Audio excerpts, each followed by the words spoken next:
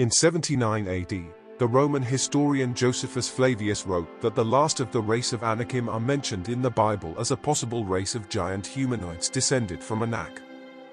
They lived in and around the 13th century BC, during the reign of King Joshua.